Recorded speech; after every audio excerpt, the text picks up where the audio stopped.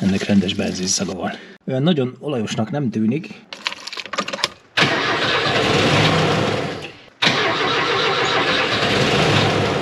Mi a hiba? Miért nem indul el? A nagyszerű, frissen vásárolt úszóm letörött és begurult a motortartóbak alá.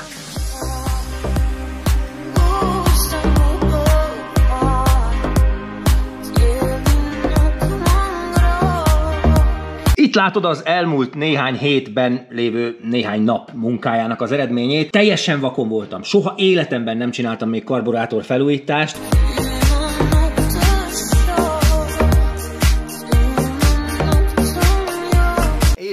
Féltem is tőle, mert Zsigulihoz nagyon régi és szovjet autó lévén nem találsz online segítséget, viszont muszáj volt szétszedni a karbit, ezért sem volt eddig próbaút, mert amikor az autó megérkezett, elmentem egy körre, szerencsére nem túl messzire, és gyalog jöttem haza. Hidegen pöcre, de melegen már nem indult. Egyszerűen megfulladt a benzinbe, és meg kellett várni, amíg lecsöpögött, elpárolgott, és csak utána tudtad újra elindítani. A szeleffedélés környéke úszott az üzemanyagtól, a karburátor alatti tálcán állt a benzin. Az első tippem lyukas úszó, rossz tűszelep, főfúvókák, egyéb fúvókák eltömődve. Kicseréltem az úszót, az összes fúvókát, főfúvókát, tűszelepet. Megrendeltem egy komplett karburátor felújító szettet. Full tapasztalat nélkül soha életemben nem szedtem még szét karburátort. A legtovább az úszó szintjének, a helyes beállítását olvasgattam, elemezgettem a rajzokat. Nem csináltam még soha, és nem akartam eltolni.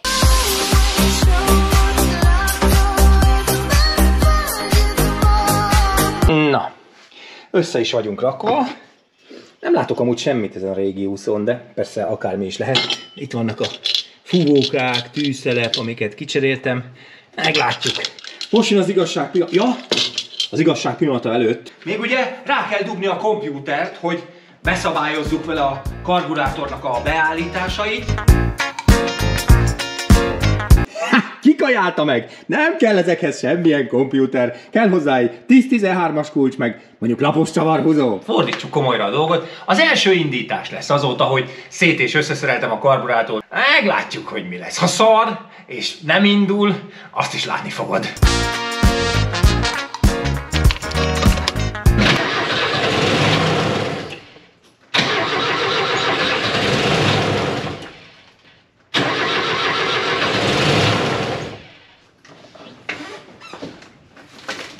Ez mi? Ilyenkor van az, hogy újra szétburít minden, és nézd meg, olyan tiszta, koszos a benzin a úszóházban, úgyhogy a szűrőt meg kell nézni, nem ezt a pici szűrőt, ami itt a karburátor elején van, meg miközben levettem a tetejét, figyelj, a nagyszerű, frissen vásárolt úszóm letörött és begurult a motortartóbak alá. Úgyhogy ez lesz az új helye. Még jó, hogy a régi megvan, szerintem baja nincs, úgyhogy az lesz visszarakva. De hogy mi a hiba? Miért nem indul el? Arra is van tippem amúgy. Ez az eredeti úszó, ezt már visszaraktam, mert a másikból ennyi maradt meg az újból. Muszáj lesz jól lenni a réginek. Mi lehetett a baj? Miért nem indult el? A folytószelepek működnek, minden mozog, bovdenek is, benzin is volt a benzincsőben, viszont most, hogy szétszedtem, nézd meg ezt, ez, ez egy úszóház kiegyenlítő szelep, hivatalosan. Ezt én így raktam vissza, mert amikor levettem a fedelét, akkor kiesett. Miközben itt bogaráztam a Mimi csodában, hogy hogy is néz ki, és mit, mit csesztem el, mit raktam össze rosszul, láttam, hogy ez a szelep nem így néz ki nálam beszerelve. Nálam így nézett ki. Csak ő szerint ennek pont fordítva kéne lennie, tehát így. Simán el bírom képzelni, hogy ezért nem töltötte meg rendesen benzinnel az úszóházat. Aha. Itt fekszik fel. Így elsőre elnézve ez tök evidens, hogy ennek így kéne lenni, és nem fordítva.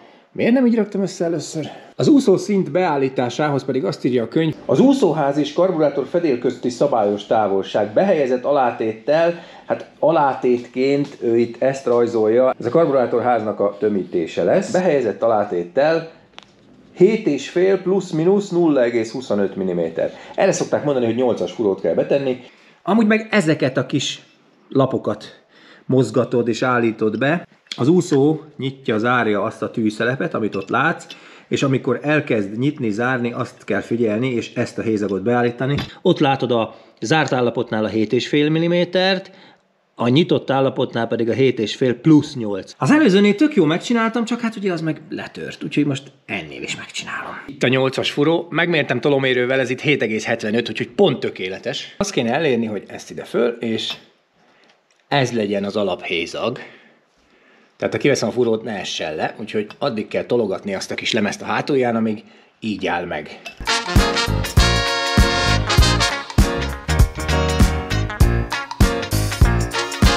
Ez az árt állapot, és a nyitottnak az árt állapothoz képest plusz 8 mm-nek kell lenni, ez itt sok, úgyhogy egy picit kell visszább állítani rajta. Ez alatt, a csavar alatt van egy benzinszűrő. Megnézzük az milyen, mert elég koszos volt a benzin az úszóházban. Gyere már! Hát, nem veszélyes, de azért egy pucolást megérdemel. Akkor rakjuk össze másodszor is.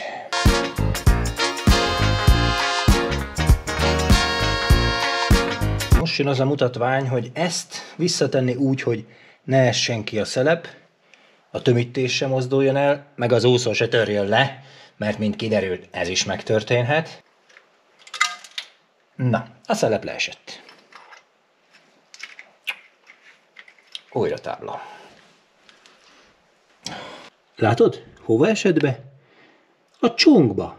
Természetesen. Kéne egy ilyen csapó, hogy. Harmadik próbálkozás.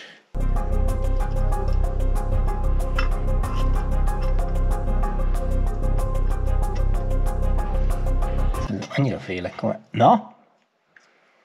Szelep a helyén. Ha! Rajta van! Nem mozog.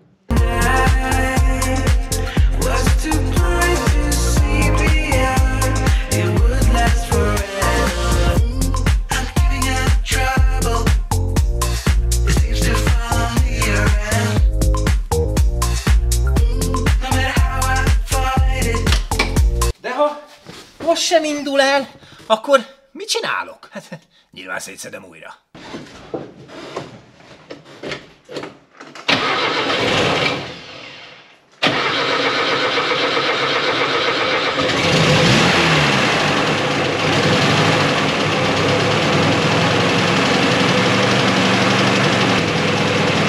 Na,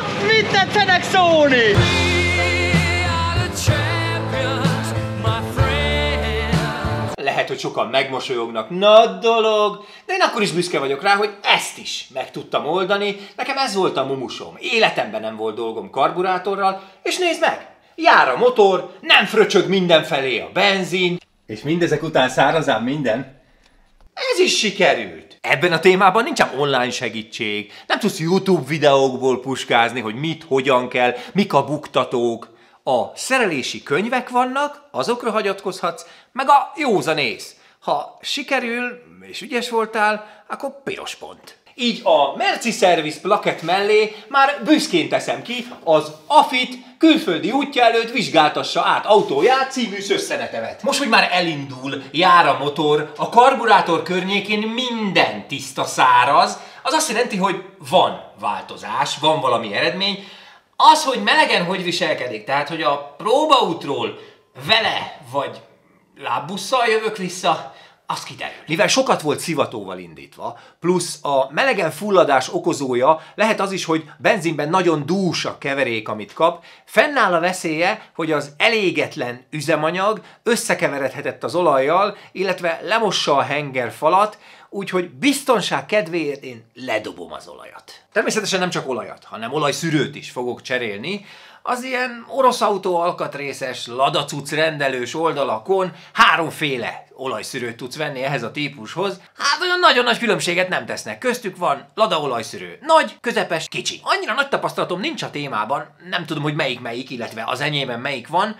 Megnézem, hogy látok-e rajta valami azonosítót, vagy feliratot esetleg. Na most erre nem csak, hogy nincsen írva semmi, hanem még pici betűvel is, de nézzünk alá tükörrel, mit látunk ott. Drága elvtársam, bajtársam és szaktársam, amint azt te is látod, ezen mi semmit nem fogunk olvasni, ugyanis tavarish ucsitjelnica, ez oroszul van írva, úgyhogy muszáj lesz méregetni.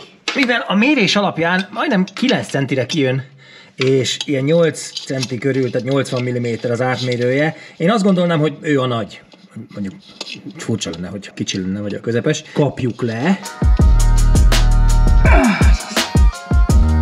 Elég jól meg van tépve. Na, nézd! Itt már jobban látszik a felirat. Szovjetszkaja. Te, 21.01-el kezdődő szám van rajta. Ez még lehet, hogy gyári cucc.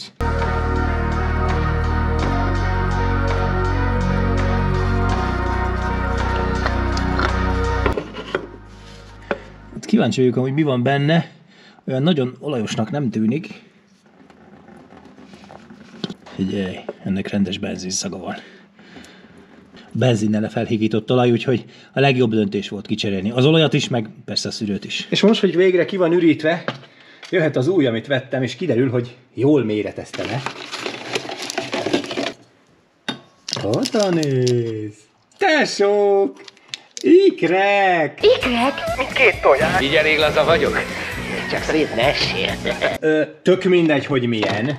Ez csak ideiglenes lesz. Most erre a pár száz kilométeres útra, ez csak pár száz méter lesz. Szóval ez csak addig lesz benne az olaj is, meg a szűrő is, amíg most is szépen átjáratom vele, hogy ne ez a benzinnel átfolyt valamilyen trutymó legyen benne. Akármilyen olaj, meg akármilyen szűrő is megteszi erre a kis távra. Ami benne volt, annál sokkal-sokkal jobb lesz. Hidegebb az időjárás, hűvös a padló is, úgyhogy jöhet az Armani. A rendszám?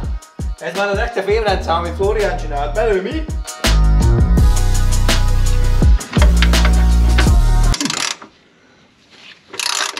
Megmondom neked, nincsenek hiú reményeim, hogy innen majd rendes olaj fog folyni. Ha a szűrőben olyan benzines cucc volt, akkor ez is trutymó lesz.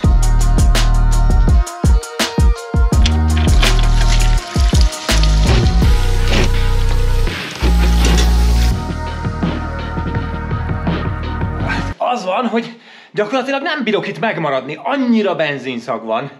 Láttad, hogy ami zubogott kifelé a motorból, 70%-a? Az biztos, hogy benzin volt. Nagyon gáz, hogy ez volt egész idáig benne. Még szerencsé, hogy sokat nem indítgattam. Járni abszolút nem jártam vele. Remélem, hogy nem lesz baj. Már éppen, hogy csak egy-kettő csepp jön.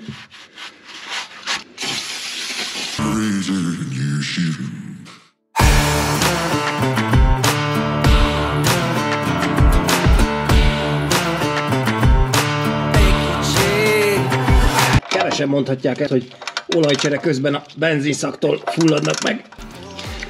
Hát, én igen. És mindezek után jöhet az olajcsere legtisztább, legkellemesebb és legtrutymótlanabb része, az új olajszűrő felcsavarása, illetve az olaj beöntése. Persze előtte az olajszűrő gumitömítésének adunk egy kis kenést az új motorolajból, hogy ne szárazon kerüljön fel. Oh, kicsit mélyre nyúltam.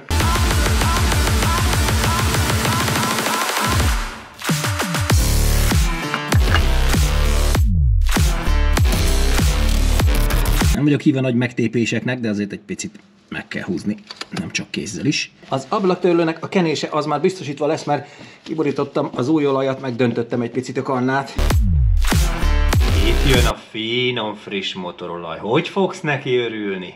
Jobb, mint a benzin.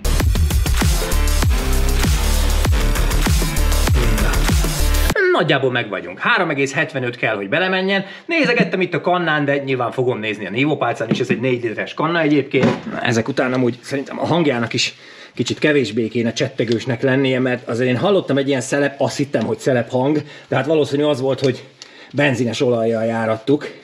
Most azért rendes sűrű olaj van benne, úgyhogy szerintem finomabb lesz a hangja is. Kiderül nem sokára. Az a baj, hogy nem bírom elnézni, hogyha valami ennyire látványosan koszos. Még porzik is.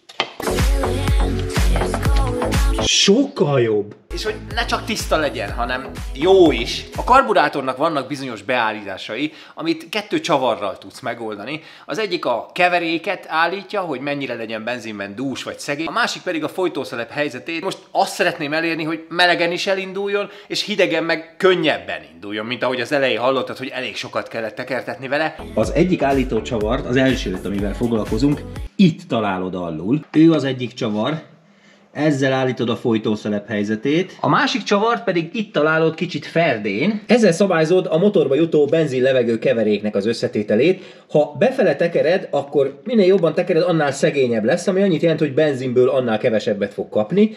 Ha kifele, akkor pedig annál dúsabb lesz, tehát sok benzin lesz benne. Mivel nekünk ez volt a problémánk, én most csontra betekerem, minimális benzint kapjon, meglátjuk, hogy fog vele indulni. Without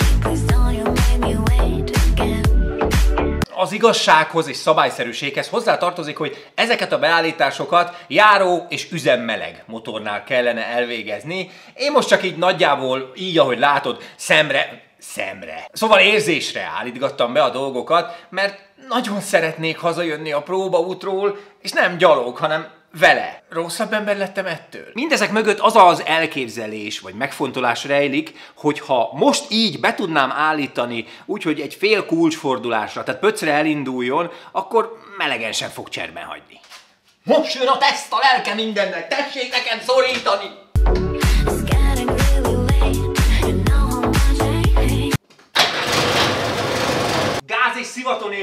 You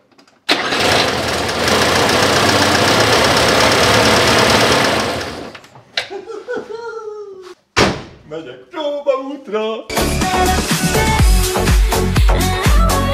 Jaj, a törött úszót meg majdnem bent hagyom.